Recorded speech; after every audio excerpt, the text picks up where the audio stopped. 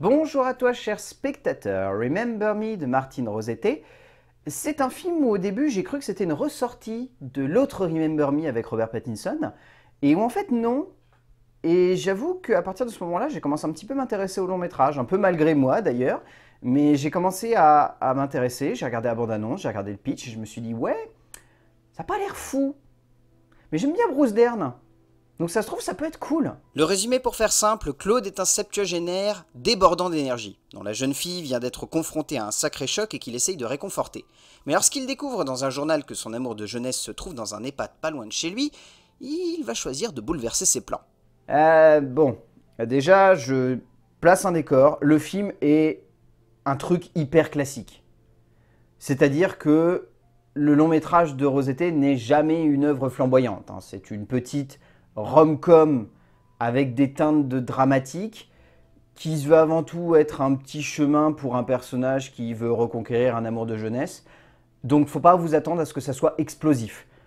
Mais derrière tout ça, je dois avouer que je me suis bien attaché aux différents personnages et que bizarrement, je me suis laissé entraîner par cette œuvre. Alors qu'au début, j'étais vraiment en train de me dire Oh là là, c'est quand même le truc le plus cliché du monde, j'ai rarement vu un truc aussi cliché. Et finalement, les clichés se succédant les uns aux autres, je me suis dit Ok, bah finalement, ces clichés, ils arrivent à se dépasser. Et malgré les stéréotypes et malgré toutes les facilités de narration et d'écriture qu'il peut y avoir, bah ça se tient. Et on sait s'embarquer. Il y a quelques points quand même qui sonnent comme très faux dans cette œuvre, mais je trouve que vraiment la partie autour de Claude et Liliane est celle qui m'a vraiment le plus ému et je me suis dit ouais, j'ai déjà vu des histoires comme ça, mais racontées avec ce point de vue-là, c'est sincère, c'est touchant et c'est émouvant. Et parfois on n'en demande pas plus à une œuvre de cinéma. Les histoires d'amour, entre grosses guillemets de petits vieux, c'est presque devenu au fil des années un genre à part entière, que certains auteurs ont décidé d'explorer de manière surprenante, comme Paolo Sorrentino, ou de manière plus classique, comme Israël Horowitz dernièrement. Ainsi, le long métrage de Martine Rosette se pose là comme une exploration somme toute assez classique du genre, mais qui réussit par son charme irrésistible, et surtout par le biais de ses acteurs tout simplement enivrants de justesse, à nous embarquer dans un petit délire amusant et prenant, qui se suffirait presque à lui-même pour nous entraîner de bout en bout, sans effort. En termes d'écriture, donc le scénario a été écrit par Rafa Russo et Martine Rosette. Euh, dans l'écriture, soyons sincères, il y a énormément de choses qui ne fonctionnent pas. Il y a énormément de, de points, de narration, de dramaturgie, de clichés qui ont tendance à tellement appuyer le récit que nous, au milieu, on est un peu en mode c'est quand même un peu lourd. Derrière, faut se dire tout de même que le film dure 1h25, générique non compris, donc ça reste un format très court, et je trouve ça très noble de se dire que l'histoire se suffit à elle-même et qu'il n'y a pas besoin d'en faire trop, et donc comme beaucoup auraient tendance à le faire, de faire un film de 1h50, voire 2 heures sur ce type de thématique, là au moins les deux scénaristes ils se sont dit, il faut qu'on fasse l'essentiel, et l'émotion viendra toute seule l'émotion vient assez facilement, je trouve, dans cette écriture. Il n'y a aucun moment où j'ai eu l'impression qu'on me l'a martelé ou qu'on m'obligeait à penser d'une certaine manière. J'ai plus l'impression que les personnages se laissent entraîner de petites scènes en petites scènes, de rencontre en rencontre, de petits dialogues en instants poétiques. Ça suffit finalement à faire tenir toute l'écriture et à se dire que même s'il n'y a rien de vraiment flamboyant, l'ensemble est assez cohérent. Il y a des points que je trouve assez ridicules, notamment la fille avec son mari, alors là ça je trouve ça n'a aucun sens, et la petite fille avec son copain de lycée, euh, pareil, je trouve c'est assez grossier et assez classique et ça aide pas trop. Peut-être qu'il aurait fallu que les deux scénaristes se sentent vraiment sur Claude et Liliane pour faire en sorte que l'écriture se tienne de bout en bout, mais c'est attachant. Russo et Rosette ne cherchent jamais à aller dans une direction qui se voudrait comme novatrice dans le genre, simplement à exploiter correctement leurs personnages, à passer par de nombreux stades, souvent clichés ou faciles dans le genre, mais cherchant avant tout à nous embarquer dans cette petite aventure. Au fond, malgré les énormes grossièretés de composition et de construction de cette narration et de son ensemble dramatique, au fond, ce qui ressort le plus comme étant l'atout majeur de ce scénario, c'est avant tout l'émotion, qui sonne comme crédible et touchante, et qui suffit très largement à rendre l'ensemble du script prenant, et avant tout entraînant et sincère. En termes de mise en scène, Martine Rosette, ça se voit que c'est un réalisateur qui n'a pas non plus une grande manière de concevoir sa mise en scène.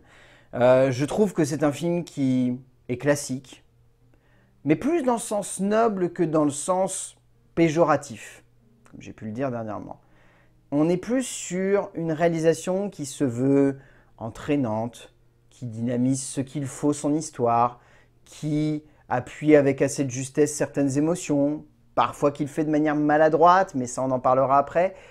Mais dans l'ensemble, je trouve que le film arrive à juste amener ce qu'il faut de sensibilité pour faire en sorte que la mise en scène marche sans être grossière.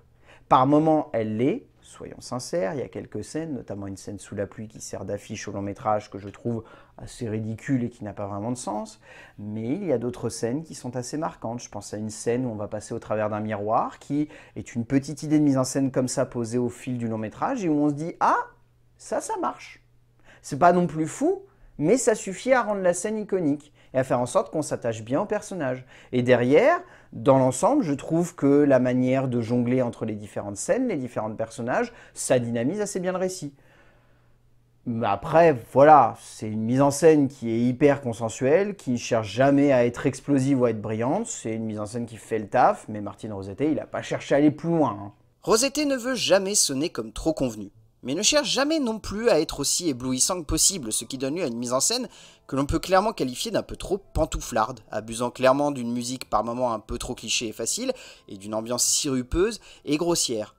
Malgré toutes les intentions visibles du cinéaste, qui essaye tout de même de mettre en scène de manière touchante et émouvante son œuvre, on sent que l'ensemble reste tout de même largement convenu dans sa composition du cadre, dans son travail du montage et son ensemble de plans, ce qui pourra très facilement laisser des spectateurs de côté sans le moindre doute. En termes de casting, euh, je trouve que Caroline Seahol dans le rôle de Liliane est plutôt bonne, l'actrice s'en sortant vraiment bien et apportant une vraie sensibilité au personnage alors que compliqué de jouer un personnage atteint d'Alzheimer et je trouve qu'elle lui amène ce qu'il faut d'émotion pour qu'on soit touché. Euh, Serena Kennedy ainsi que Sienna Guillory sont vraiment deux actrices que je trouve plutôt bonnes, Sienna Guillory étant vraiment excellente.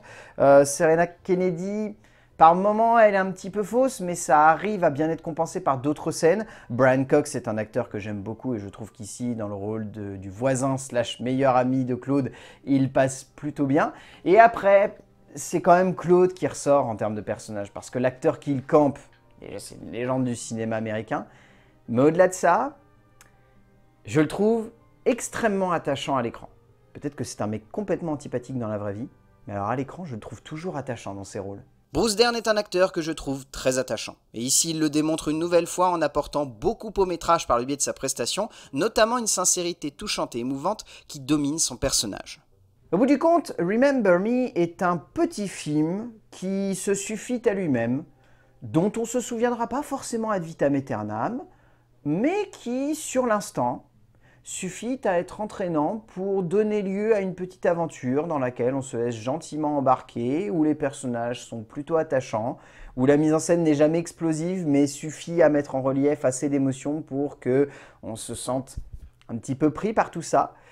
Donc au final, Remember Me de Martine Rosetté, disons pourquoi pas. C'est pas une œuvre devant laquelle vous allez être fasciné et vous allez vous dire waouh, c'est un truc de fou. Vous risquez très fortement de dire que la photographie du film est dégueulasse et je serai assez d'accord avec vous. Mais j'ai été touché par le long métrage et j'ai trouvé ça plaisant. Donc pourquoi pas. A plus